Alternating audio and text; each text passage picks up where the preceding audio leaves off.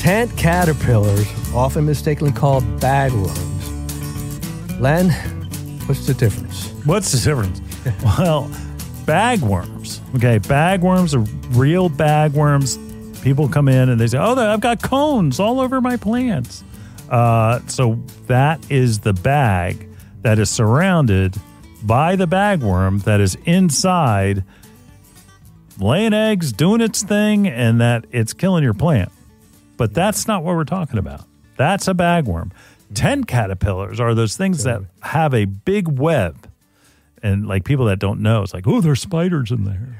No, there's not spiders in there, but there are caterpillars. Caterpillars. Caterpillars. A lot of them. All right, Julio, what is silk made from? Silk is probably made from caterpillars. There you go. Um, that again, it's it's that tent caterpillar that you see. A lot of times you'll see them like you're driving on the highway and they're all along like you know, turnpike's good for that. You know, sections two ninety five. You know, Parkway. you know, now you can see that that those tent caterpillars doing their thing, uh-huh. and what happens? It's like crazy because when you have them, like in your yard, and a lot of times it's on cherries, on crab apples, flowering trees, and that there's like a gazillion. it's in not there. just one. it's not just one. they, they lay like 400 eggs Oh, my gosh. on, on this on a branch, and it and it almost looks like uh, where your branch has a cigar attached to it, and and it like there's a foam mass that's that makes you know that your branch looks funky in one little spot. And usually it's maybe four inches, and that's where the eggs are. And like if you see a mass like that, that very well could be tent caterpillar eggs. I when they go into their nest and that they begin to spin that web and that all of a sudden they all come out. Have you ever opened one, Julio? No, I haven't. You are missing so much fun. Oh yeah.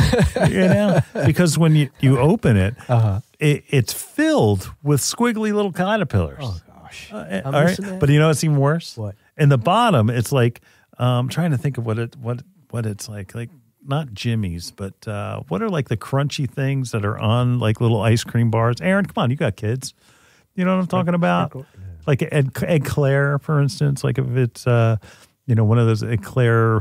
Yeah, I know what you're humor talking about. I just don't remember the name of it. Well, anyway, with those little those little crunchies. and you wait, you're from North Jersey. You call it Jimmy's? No, I don't. I've I've adapted. It's not it's sprinkles. Oh, I'm about, yeah. I'm like, sprinkles. I I, I have to translate. It's like I still have to translate the television channels. Like Okay, all right, channel all two right. is CBS, but it's really three. Gotcha. Down here, Yeah, channel yeah, four is. NBC, but here it's ten. And, right. ABC is channel six, but it's Seven. You know, it's really Yeah, seven. Yeah, I got you. Anyway, so those little crunchy things. So you open the bottom of this web, and these little uh, crunchy things come out. Right. You know what that is? Poop. Isn't that great? I will never have another good humor bar. but what there's such there's so many of them, and the webs can get big. Oh, yeah? Good. And and here I've got a secret for you. What you do is you take like a a stick, like a three prong. It better yet, it's three prong stick, like just a a branch, and you go in. And maybe I'm hungry because it's all about food. You go into the web, you stick it in, and then you twirl it like it's cotton candy. and then you go and all of the you get all of the basically caterpillars that are there, uh, and that some drop to the ground, and that's where you got to spray them. That's where you got to spray them. And the best thing to spray them with organic Captain Jack's gonna work. Uh, BT gonna work. Uh, that both are organic. What else do you have, Julio? Eight over here. 8 Eight. It's a Thrin. That's right. Yeah. It's a Thrin. Any of the Thrins will work. And again, it's easy. They're easy to control, easy to kill. Um, it's just what they'll do is they'll devastate your your leaves on your trees. Like they'll just go to town and they'll be To take care of that, huh? goodbye. You know, my tree's looking a little bare. um, so, and then when they have one generation, so when they they hatch, they they turn into and they end up turning into these like tan moths. You often see. Yeah. A lot of people thought that they were oh they're uh, they're not they were they right they they they thought they were something else. It is the eastern tent caterpillar, and it looks like a flat moth. A lot of times you'll see them around your trees. Okay, does not look like a butterfly. Uh, It you know, it's kind of like it looks like a moth. Like if you go in the dictionary, moth, it looks like that. Boom. Um, and it's more of a tan color, and that they're like I said that you know they're reproducing and that you don't want them on your tree, and if they when they lay their eggs, they they make it like again it's like that all of a sudden at the base of a branch or or somewhere that along that branch it almost looks like cigar where it's like a foam, and it's probably about two inches maybe three inches long. Um, it it is it is a problem. But to be quite honest, they generally don't get too out of hand that you it if you've got large tents, yes, you've got a problem.